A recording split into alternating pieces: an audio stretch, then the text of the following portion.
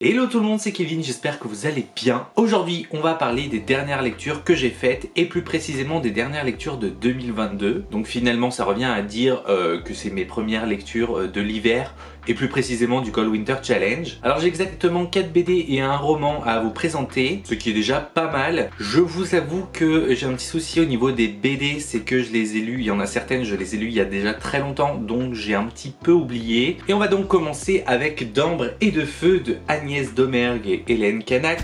Euh, c'est édité chez Jungle. Et ici, on est sur une vibe hyper automnale, donc euh, clairement pas du tout hivernale. Hein. Et donc ici, c'est vrai que ça aurait été plus logique que je le lise pendant le Pumpkin Autumn Challenge, mais écoutez, je l'ai lu euh, le 1er décembre, donc c'était encore l'automne techniquement, mais on était déjà dans le Cold Winter. Et dans cette BD, on va suivre Kitsune, qui est une créature mi-humaine, mi-renard. Et le village de Kitsune va vivre un drame, sauf que du coup, bah, Kitsune va avoir un peu, va être très triste et va avoir un esprit de vengeance qui va la pousser à faire des trucs pas très cool, euh, notamment à cause de certains petits esprits pas hyper euh, bienveillant. Voilà, je vais pas vous en dire plus, mais euh, on va la suivre du coup dans cette aventure et euh, j'ai beaucoup aimé cette bande dessinée déjà parce que les illustrations je les trouve juste magnifiques. On est vraiment sur des tons hyper automnales, d'où le fait que bah, c'est pas forcément l'idéal pour l'hiver, mais vraiment j'ai adoré, c'est vraiment hyper beau. Et pour l'histoire, ce que j'ai bien aimé, c'est que ça reprend un petit peu l'idée d'une histoire manichéenne avec les gentils et les méchants et ça déconstruit un petit peu tout ça au fur et à mesure de la bande dessinée et j'ai vraiment adoré. Et j'ai vraiment beaucoup aimé suivre euh, les aventures de Kitsune et de suivre toute cette interrogation qu'elle va se poser au fur et à mesure euh, de la bande dessinée notamment sur l'esprit de vengeance, sur l'esprit du bien et du mal et voilà sur les notions plutôt du bien et du mal. J'ai très hâte de découvrir Entre Neige et Loup qui est une bande dessinée des mêmes autrices euh, mais qui est sortie il y a déjà quelques temps de ça. Et voilà, très bonne découverte et forcément je vous le conseille parce que c'était vraiment une bonne lecture. On passe ensuite à Maléfice, les contes d'Alomprar de Elsa Bordier et Sanoé, édité encore chez Jungle. Et voilà, là aussi je l'ai lu super vite, ça se lit super bien, j'ai adoré les personnages, j'ai adoré les messages qu'il y a dans bande dessinée. Et donc on fait cette découverte à travers euh, l'histoire de Michelle, qui est une princesse. Et en fait le truc c'est que ses frères ont été envoyés euh, dans euh, le royaume voisin pour qu'ils se marient avec la princesse Gorgona. Le problème c'est qu'ils n'ont pas de nouvelles et du coup bah, son père décide d'envoyer Michel déguisé en garçon pour qu'il se marie avec la princesse. Désolé pour cette petite interruption, mais en faisant le montage, je me rends compte que quand je vous raconte l'histoire, je vous spoil quasiment euh, tout, ou en tout cas beaucoup trop de choses. Donc je me dis que je vais vous reparler un petit peu du contenu de cette histoire en off, comme ça ça évite euh, de vous spoiler si vous avez envie de lire cette bande dessinée. En gros, on va donc suivre Michel, qui est envoyé par son père pour épouser la princesse Gorgona. N'étant pas un homme, elle n'a pas été préparée à affronter euh, le monde extérieur, et elle va un peu galérer jusqu'à croiser le chemin d'une fille qui n'est pas de la même espèce qu'elle, qui fait partie de ce fameux royaume voisin, parce que je n'ai pas précisé, mais dans ce royaume voisin, euh, il s'agit de démons et non pas d'humains. Elle va rencontrer euh, Margot, avec qui elle va se lier d'amitié, et toutes les deux, elles vont euh, s'aider et s'épauler pour traverser et affronter toutes les épreuves que Michel va devoir affronter. Je vais pas vous en dire plus pour l'histoire, j'étais un petit peu allé trop loin dans mes explications, donc c'est mieux comme ça, et je vous laisse avec la suite. Et voilà, il y a plein de messages notamment sur euh, l'émancipation des femmes, sur le féminisme de façon générale, et aussi sur euh, les préjugés, les a priori et les apparences. Si vous ne savez pas, euh, j'adore ce genre de sous-entendu et de niveau de lecture où euh, les auteurs, autrices mettent en lumière euh, des choses euh, et des valeurs qui me tiennent à cœur. Elle est assez courte mais elle est très efficace, elle est bien amenée et vraiment j'ai beaucoup aimé. Et les illustrations de Sanoé, toujours aussi belles, j'adore vraiment son travail. Et du coup ça a été vraiment une super bonne surprise parce que, parce que j'en attendais rien à la base et que je l'ai vraiment acheté sur l'envie du moment. Et d'ailleurs j'ai demandé le tome 2 aux éditions Jungle qui me l'ont déjà envoyé et voilà je les remercie vraiment pour ça. Et donc du coup, bah, je vous conseille vraiment Maléfice qui était une très bonne surprise. J'ai ensuite lu, alors désolé, il y a un peu de brillance, mais j'ai lu euh, Le chant de l'aurore de Daphné Buiron et Caroline Derry.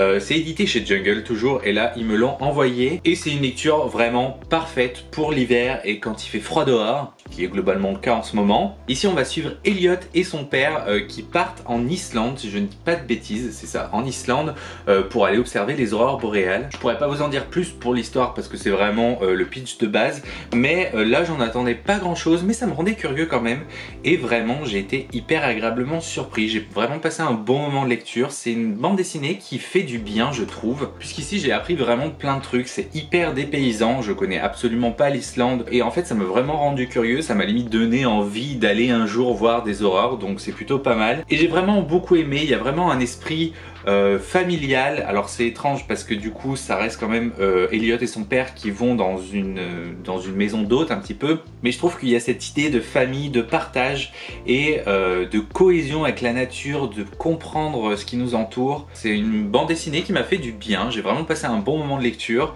Et bah écoutez, là je peux que vous la recommander aussi. J'ai également lu un chant de Noël d'après Charles Dickens de l'Hermenie et Laboureau, là aussi édité chez Jungle. Alors par contre, je ne l'ai pas reçu, mais je l'ai emprunté. Et comme je m'y attendais, ça a fait le taf. Je sais pas si vous connaissez euh, l'histoire du chant de Noël, mais en gros, Monsieur Scrooge, qui est pas hyper euh, friand euh, de, des fêtes de Noël et qui déteste le gaspillage, qui est très avare et voilà, qui n'aime pas du tout tout le gaspillage de temps, d'énergie et d'argent que l'on fait pendant les fêtes. Bref, c'est un vieux aigri hyper radin quoi. Et une année, la veille de Noël, il va recevoir la visite de trois esprits. L'esprit des Noëls passés, l'esprit des Noëls présents et l'esprit des Noëls futurs. Je crois que c'est les esprits ou les fantômes, je sais plus, mais bref, passé, présent, futur. Et au travers de cette aventure pendant une nuit, Scrooge va réaliser tout ce qu'a pu être Noël pour lui dans sa vie et tous les faits euh, positifs ou négatifs qu'il a pu créer pendant ces périodes-là euh, bah, par le passé par le présent et ce qui pourrait devenir. Et voilà pour le pitch de base, je vous en dis pas plus, mais euh, c'est un incontournable vraiment, pour moi c'est un classique euh, de la période de Noël. Je n'ai jamais lu le roman de Charles Dickens mais j'ai déjà vu euh, le drôle de Noël de Scrooge adapté par Disney et globalement on reprend les mêmes codes, c'est vraiment la même histoire. J'en attendais pas plus, j'en attendais pas moins, vraiment ça fait le taf. Et pour terminer on va parler du livre qui m'a tenu un peu plus d'un mois euh, et que je suis ravi d'avoir découvert. Je vous en ai déjà parlé dans mon bilan de 2022. Il s'agit du premier tome de La passeuse de mots de Alric et Jennifer Twice. C'est édité chez Hachette Roman et ici j'ai l'édition collector. Et ce livre, j'ai tellement adoré. Comme je vous l'ai dit, si vous avez vu mon bilan, vous savez que ça a été un de mes coups de cœur préférés de l'année 2022. Et ici, on suit Aria qui nous ressemble beaucoup si vous aimez lire puisqu'elle adore se plonger dans ses romans et vivre des aventures au travers de ses livres. Et elle vit au royaume d'Elios avec ses parents et son petit frère. Et dans ce royaume, il y a des gens dotés de pouvoirs magiques et d'autres non. Et pour protéger un petit peu tout le monde, surtout les gens qui n'ont pas de pouvoir, il y a un traité que le roi a mis en place quelques années auparavant. Et chaque année, les différents peuples du royaume viennent signer à nouveau le traité pour le prolonger. Sauf que malheureusement, l'année où on rencontre Arya, et eh ben, tout ne se passe pas comme prévu et malheureusement le traité n'est pas signé. Toutes ces histoires vont pousser Arya à quitter la capitale d'Eliante et tout ça va la pousser à faire la rencontre d'une étrangère qui va lui dire que c'est une passeuse de mots. Et il faut savoir que les passeuses de mots, ça court pas les rues. Voilà, je vais pas vous en dire plus pour l'histoire. Je suis pas quelqu'un qui lit beaucoup de fantasy, c'est-à-dire que j'en lis même jamais. Et c'est vraiment la première fois où je me plonge dans un, euh, univers de fantasy que je ne connais absolument pas. Ce livre m'a vraiment beaucoup plu parce qu'il est hyper riche, il est hyper bien construit, il est hyper dense. Le personnage d'Aria est hyper attachant et quand on aime lire, c'est très facile de s'identifier à elle. Les personnages qui vont l'entourer et qui vont l'accompagner tout au long de sa quête, euh, bah écoutez, je les adore aussi. Je trouve qu'il y a des personnages vraiment hyper travaillés. Ils ont un passif et euh, bah, ça se ressent au fur et à mesure de la lecture, au fur et à mesure qu'on découvre ces personnages. Et ça, pour moi, c'est vraiment un point fort quand on a des personnages vraiment construits et complets. Et forcément, bah, ça en fait des, personnages attachants. Et pour ce qui est de l'univers, j'ai vraiment adoré euh, tout ce que j'ai traversé au travers de ce roman. J'ai beaucoup aimé parce que je vais pas dire que ça prenait son temps, mais disons que je savourais ma lecture. C'est-à-dire que, bah, pour vous dire que ça a fait un mois, c'est vraiment que j'appréciais tellement cet univers que j'étais bien dans ma lecture, que j'avais pas envie de la dévorer, même si j'étais très curieux d'aller plus loin et de découvrir la fin du livre en fait. C'est toutes ces choses qui ont fait que c'était un coup de cœur vraiment euh, pour une première euh, fantasy, une première découverte en fantasy. Je suis absolument pas déçu et j'ai très très hâte de découvrir la suite. C'était une de mes meilleures lectures de 2022 et vraiment je vous la recommande. Et eh bien écoutez, voilà un petit peu pour ce point lecture. Comme souvent ces derniers temps, il y avait beaucoup de bandes dessinées. N'hésitez pas vous en commentaire à me dire si vous avez lu certains de ces livres ou alors si vous en avez d'autres à me recommander, notamment en fantasy, parce que je m'y mets doucement, doucement mais sûrement, sachant que j'en ai quand même quelques-uns dans ma pile à lire, notamment l'incontournable de la euh, passe miroir. Et sinon, en attendant, bah écoutez, je vous souhaite de passer de bonnes lectures. J'espère que votre année a bien commencé et je vous dis à la prochaine.